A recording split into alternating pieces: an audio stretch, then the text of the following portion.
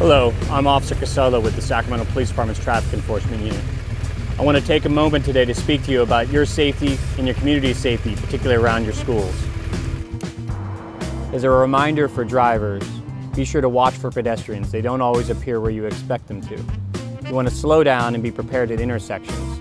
Travel only at a speed that's reasonable for you to stop should a pedestrian appear. When you're passing a crosswalk, yield to any pedestrians that are in that crosswalk or appear that they want to use the crosswalk.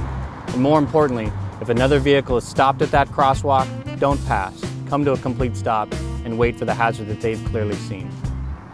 And as a reminder to pedestrians, be free of distractions. Try to keep your eyes and ears available for any hazards that can present themselves.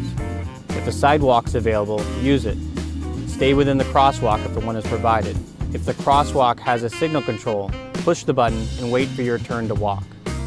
And most importantly, be cautious. As a pedestrian, never assume that the driver sees you, and likewise, as the driver, never assume the pedestrian is going to yield to you.